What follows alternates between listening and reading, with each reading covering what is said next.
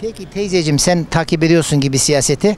Şimdi 30 Benim dört lisanım var oğlum. Böyle yaşlım 80 yaşındayım ama 80 senedir. hangi lisanlar efendim? Efendim? Hangi lisan? Almanca, İngilizce, Arapça. Maşallah. Ee, başka bir sorum daha var. Şimdi 31 Mart seçiminde meclis üyesi Büyükşehir'in AK Parti daha fazlaydı. Ancak bu seçimde olsaydı CHP öne geçiyordu. Bu mevcut meclis adaletli mi değil mi sizce? Yakışıksız bir şey yaptılar.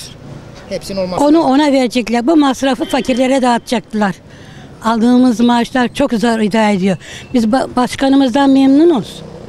Ama bu belediye başkanı da göründüğü gibi ise Türkiye daha güzel olur. Baştaki adam iyi çalışırsa, meclisi de böyle şeffaf yaparsa her şeyi kabul etmek zorundalar. Eğer halk için yararlı şeylerse. Adaletsiz abi. Mazbaka vermeyeceğiz abi. Fazla. Cevap vermeyeyim ya. Onu ben onu da bilemem şimdi. Onlar o kadar şey, şeyi bilemem. İnşallah olur. Bu adaletli değil. verseydi belki mecliste mecliste de sağ- çoğunluğu Tabii olacak sağlayacaktı. işte. Hı. Ben onu adaletli mi değil mi şimdi? Çünkü Ne şu- adalet? Adalet mi kaldı Türkiye'de? Adalet- adalet mi kaldı? Değil. Ya şu andaki sistem değil. Yani hani bir de şu muhabbeti yaptı. Topolerdeki muhabbeti yaptı. Hani dedi siz bir şey yaparsanız işte meclis çoğunluğu bizde ama bunu vatandaş zaten görüyor. Halk bunu görüyor. Yani ne yaparsa yapsın artık yani Ekrem İmamoğlu başkandır ve de inşallah 2023'te de geleceğin cumhurbaşkanıdır. Ya inşallah bu atılan büyük fark o meclisin de adaletli çalışmasına bir meydan sağlamış olur. Meclis çalışanlarını da ben buradan vicdanla çalışmaya davet etmek istiyorum. İnsanların neye ihtiyacı olduğunu görmüşlerdir umarım. Çünkü o da olsaydı İmamoğlu'nun ekibi daha fazla olacaktı. Tabii ki İmamoğlu'nun ekibi daha fazla olacaktı ama İmamoğlu'nun e, adaletli davrandığına o kadar inanıyorum ki karşı tarafın meclis üyelerini bile sayemizde temiz siyasete çekeceğine inanıyorum ben. 31 Mart'ta yapılan seçimde meclis dağılımında AK Parti daha fazla. Ama 23 Haziran'da meclis seçimi de yapılsaydı Cumhuriyet Halk Partisi öne geçecekti mecliste. Şimdi Sayın İmamoğlu o ekiple çıkacak meclise. Bu meclis adaletli midir değil midir efendim? Bu meclis hiç adaletli değil. Onu söylemek istiyorum. Zaten halka açık toplantılarında da izledik. İki tane orada e, Benim beni. bayan dedi ki bize seçme ve seçilme hakkını veren Recep Tayyip Erdoğan'a çok teşekkürler ederiz ilk önce açılışlarında.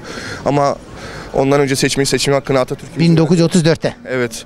Ve Türkiye'nin ve İtalya'dan dahi önce verdiği bir kadına seçme seçilme hakkını veren Gazi Mustafa Kemal Atatürk Paşa'mızdır. O belki başörtüsüyle demiş olabilir mi? Ben onu hatırlayamadım. Ya olabilir. Ya ben bunu başörtüsü veya açık fark etmiyor. O nasıl Nagihan Alçı stüdyoyu terk etti kaybettiğinde. O da sonuçta açık bir bayan. Diğerleri kapalı bayan. Bu zihniyete... Adil olmak lazım aslında. Adil. Mesela şu an bu süreçte biz elimizden geldi adil olmaya çalıştık. Bizi tehdit ettiler ölümle, kanalınız kapanacak, satın alacak. Yani şu an netice itibariyle adalet çok önemli. Her yerde adalet olması lazım. Şunu söyleyeyim. Artık bir korku duvarı vardı. Onu biz yıktık artık. Artık korku yok. Korku yok artık. Artık halk var, irade var. Halk yaşasın halk. Yaşasın Türkiye Cumhuriyeti, yaşasın Mustafa Kemal Atatürk. Abi şimdi AK Parti bu seçimde çok büyük bir ders aldı. Adaletsiz yapamaz artık. Çünkü Ankara gitti, İstanbul gitti. Daha bir şey kalmadı. Adana gitti, Antalya gitti. Adana, Antalya ne varsa gitti artık. Millet uyandı, uyandı. Mecliste da adalet var mı yok mu Büyükşehir'in? Çünkü 31 Mart'taki sonuçlar değişti. Ama AK Parti halen o sonuca göre meclisi idare edecek. İdare- Sek- yok yok idare etme şansı hiç yok artık. Ama İmamoğlu- fazla ha. İm- yok yok artık millet görüyor görüyor. Gözüyle görüyor. Yanlış yaparsa bir dahaki seçimde hiç oy vermez. Yani bile. fazla olsa bile adalet olmak zorunda AK Parti. Aynen aynen doğru söylüyorsun aynen. Hak, hak doğrudan yana diyorum ben. Gerçekten böyle siyasi konuşmuş gibi olacağım ama Mevlam her şeyin layık olanını gösterecek halkına inşallah. Yani adaletli derken e, imam İmamoğlu'nun fazla olması lazım. Bir bazı kararlar çıkmayacak. Ama bu meclis üyesi de yenilenseydi çoğunlukta CHP'ninki olacaktı. anlıyorum. Bakın ben de 33 yıl askerlik yaptım. Asker emeklisiyim. ben. Ülkemizi korudunuz. He. Teşekkür Ya görevimizi yaptık. Devletten maaş aldık. Boşuna yapmadık yani. Herkes benim gibi herkes. Ben değil yani. E, onun için iyi niyetle canını bu ülke için feda edenlere helal olsun. Başka bir şey diyecek halimiz yok. İmamoğlu inan çoğunluk da onlarda olsa açık ve net herkese yayın yaparak onların e, engellediğini... O zaman canlı yayının gücüne mi güveniyorsunuz siz? Yani, yani- AK Parti meclis üyeleri yanlış yapamıyor. Çünkü her halk görüyor her şeyi. Aynen dediğin gibi bak. O zaman söylüyorum. yaşasın canlı yayın.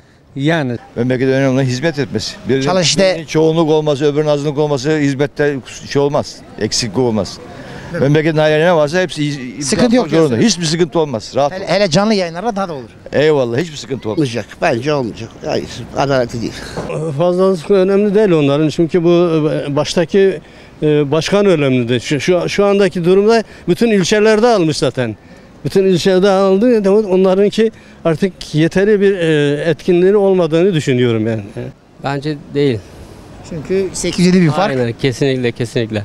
Valla bence e, çağırsın adaletli olur. Çünkü artık adalet istiyoruz, hukuk istiyoruz, hak istiyoruz. Biz her şeyi istiyoruz millet olarak.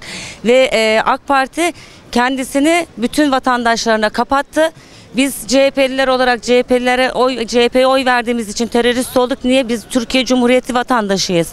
Biz Atatürk ilkeleriyle doğduk, büyüdük ve biz ülkemizde artık bu tür şeylerini istemiyoruz. Yani Sünnisi, Alevisi, Hristiyanı biz hepimiz burada biriz. İnsanız, Bayrağın altında. kardeşiz. Aynı bayrağın altındayız, kardeşiz.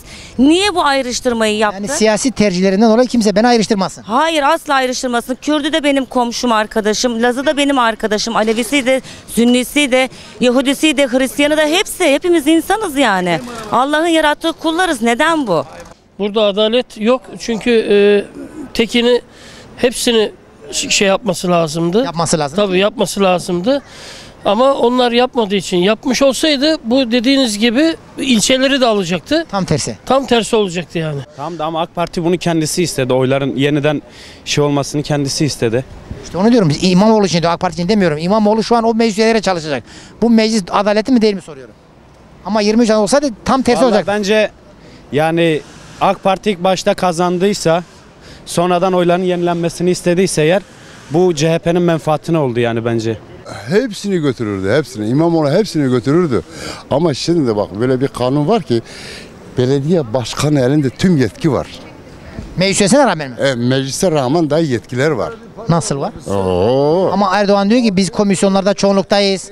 Mecliste geçirmeyiz diyor. E, seçimden önceydi biliyor musun? Seçimden önceydi Sayın Cumhurbaşkanımız. Şimdi değişecek mi? E, değişir. iyi bir insan da bakma seçimden insan propaganda olur. öyle. Agresifleşiyor. E, tabii tabii olur olur. Niçin o zaman dediler ki bir tane kağıtla oylamaya gideceğiz.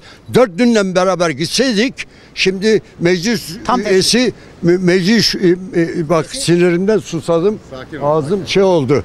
E, meclis üyesi affedersin yüz binleri geçecekti. Örnek Fazla yani. olacaktı. He, ne olacaktı? Kardeşim bak bu vatan bu millet hepimizi. Ben zamanında bu cennet mahallesi şu gördüğün tepe üstünde in, e, e, e, İncin oynamıyordu. Ha incin e, e, top atıyordu. Anlatabiliyor mu? Burada.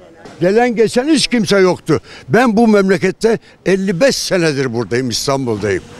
Ha ondan sonra gittim ben bunların yanında 3 ay çalıştım.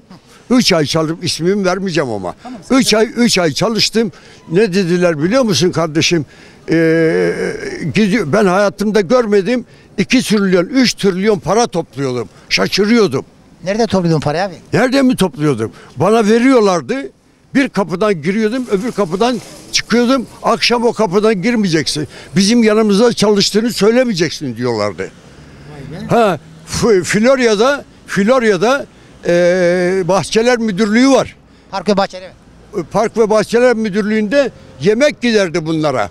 Ye- Yeşil karttan bunların ailelerine ben giderdim eczanelerden ilaç taşırdım. O parayı, to- karttan. o parayı toplayanlar. O parayı toplayanlar. Bir gün ben bir arkadaşıma espri yaptım. Dedim ki Adnan dedim gel buraya kardeşim. Bak dedim lan ben, dedim hayatımda görmedim dedim. 2 trilyon, 3-4 trilyon dedim para topladım. Uya dedi baba dedi çabuk dedi. Kapat dedi sesini telefonu kapat. Bana bir silah verdiler. Onlarla konuşup onlarla muhatap olayım diyerekten bir telefon verdiler. Ben 2500 lira Yani maaş... işler, işler karanlık mı diyorsun? Karanlık işleri mi var? Karanlık. Bak şimdi Bakırköy'den çıkıyorsun bilmem ne sıra evler var, villalar var. O villaların sahibi oldular onlar şimdi. Değil değil mi? Değil. Bana göre değil.